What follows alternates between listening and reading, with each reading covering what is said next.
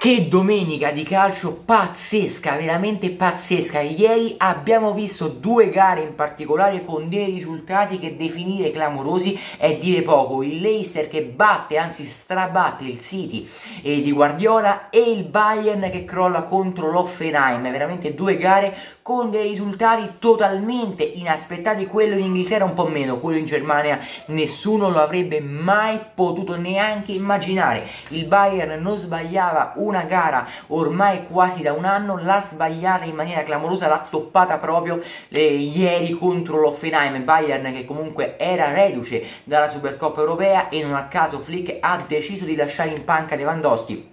ma il Bayern è veramente Lewandowski dipendente. Ieri si è sentita tantissimo l'assenza e a nulla è servita la rete non della bandiera però la rete che ha accorciato un po' le distanze di chimiche perché poi il, l'Offenheim è sceso in campo ancora più determinato ha resistito bene agli assalti. Bavaresi e sul fine della gara ha fatto anche due gol. Con Kramaric comunque il primo gol dell'Offenheim è molto bello ma la perla vera e propria è il gol di Dabur che fa una giocata straordinaria mh, mm,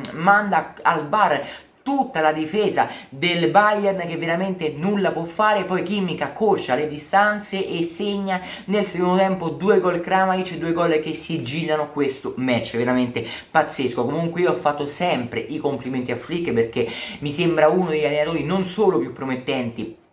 ma anche più bravi attualmente sul panorama europeo, però ieri ha sbagliato, è vero, Lewandowski non le può giocare 40 partite, non può giocare 40 partite a campionato, però tenerlo in panca ieri così facendo questo turnover, secondo me si è rivelata una scelta sbagliata. E ovviamente è facile parlare col fino del poi, però non puoi lasciare in panca un giocatore così importante, anche perché l'Offenheim negli ultimi anni, dopo l'addio anche di Nagelsmann, si è un po', eh, comunque andando un po' peggio, diciamocelo chiaramente, non è più l'Offenheim Hoffenheim due, due o tre anni fa, però rimane una squadra con dei ottimi singoli, ecco Kramaric è uno di questi, Kramaric comunque è un ottimo attaccante, uno non voglio dire i migliori in Germania, però è uno comunque molto forte che nonostante l'età riesce sempre a regalare gol alla sua squadra e quindi tu non puoi fare turnover in una gara del genere poi non cambia tanto perché comunque il Bayern rimane la strafavorita per il campionato per la Bundesliga e per la vittoria della Bundesliga del piatto però mh, diciamo che questo passo falso è un classico incidente di percorso però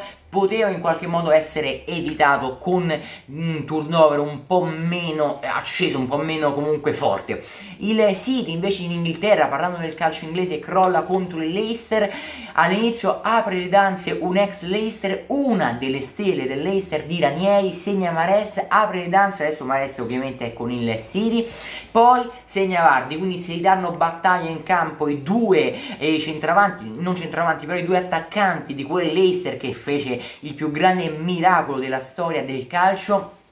poi nel secondo tempo, quindi a fine primo tempo è 1-1 con due squadre che si la giocano a viso aperto. Il City parte bene, però poi dopo il gol di Mares veramente calano molto i ritmi del City e lasciano molto spazio quelli del City all'Eister che comunque riesce a gestirsi bene, riesce a eh, dare anche dei fastidi alla squadra di Guardiola. Nel secondo tempo poi succede veramente l'impensabile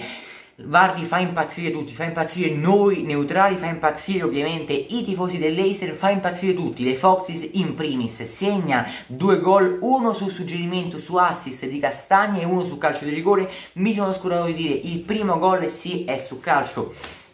di rigore e anche questo qui il primo gol quindi Vardi fa doppietta due gol su calcio di rigore e uno su azione. Poi c'è anche la rete del 4-1 accorcia le distanze a che? Neo acquisto del City dal, mi sembra dal Bournemouth però non sono sicuro. Comunque un difensore strapagato veramente strapagato. Adesso il City è prossimo anche a chiudere per Dias del Benfica però spendono e spandono tantissimo. Tanti difensori Koulibaly era 10.000 volte meglio e forse costava se non uguale anche di meno. Quindi ragazzi o comunque se non di meno uguale al massimo perché veramente Koulibaly intorno ai 70 cosa. Se De Laurentiis non decide di farti uno sconto perché può anche decidere quello. Quindi secondo me il City per il momento non sta facendo un grande mercato. Io ho fatto i complimenti agli ultimi mercati del City da quando Guardiola è arrivato a Manchester perché da lì hanno un po' attrizzato la testa hanno cominciato a guardare oltre i centravanti un po' più indietro e hanno cominciato ad aggiustare difesa centrocampo portiere un po' tutti i reparti, però questo mercato con così tanti soldi si poteva fare meglio, se volevi comprare difensori all'altezza li potevi comprare spendendo anche di meno e prendendone alcuni anche di migliori, non so se siano stati colpi di ripicca per De Laurentiis che non ha lasciato che comunque ha ostacolato le trattative per Koulibaly, però non lo so, mm, veramente non mi sta piacendo il mercato del City, comunque stavo dicendo a accorcia la distanza che e poi il City, eh, scusate, il, sì, il City crolla contro il Leicester, prende anche il quinto gol, il Leicester quindi fa fuori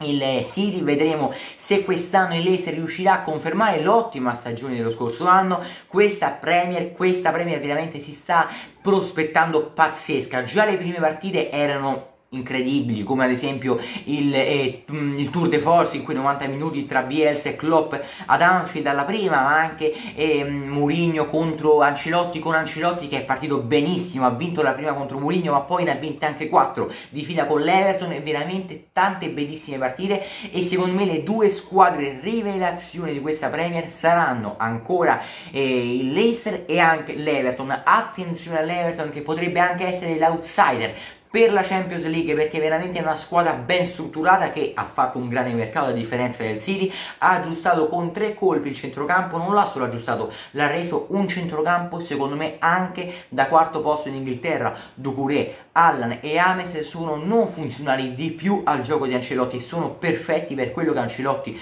vuole fare. Quindi attenzione a loro ma attenzione anche all'Acer di Rogers che non è e che non dovrebbe essere più una rivelazione però è una squadra veramente veramente ben organizzata, veramente che gioca bene a calcio, che gioca in maniera ottima, eh, fraseggi, fa, sa fare tutto, sa fare il gioco, il tiki-taka, sa fare i lanci lunghi per l'attaccante, sa fare tutto, è una squadra che è camaleontica e a me queste squadre così fanno impazzire perché non è una che ha un modulo ed è integralista, fa solo quello e basta, può adattarsi bene alle situazioni e questo secondo me nel calcio inglese è, un, è, una prerogativa indispensabile perché tu non puoi andare in Inghilterra a imporre il tuo calcio, ti devi adattare alle situazioni, alle esigenze della squadra ma anche a come giocano gli avversari e in questo Rogers è uno dei migliori, è veramente un mago. A Liverpool ha fallito, ha fallito perché comunque quel Liverpool così come il Manchester United di quell'anni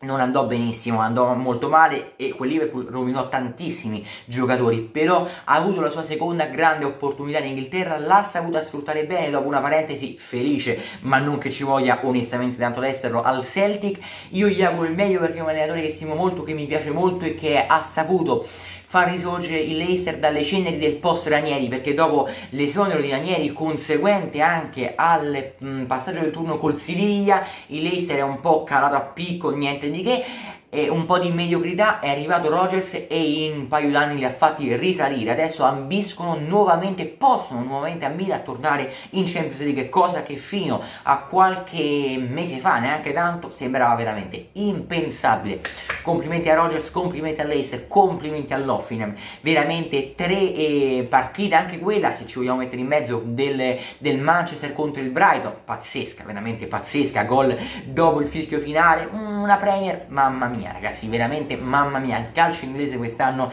si preannuncia stratosferico. Il video è finito, vi ringrazio per averlo visto, vi ricordo che se mh, mm, voleste mi farebbe molto piacere che lasciaste un mi piace, un commento e un'iscrizione al canale. Ciao a tutti!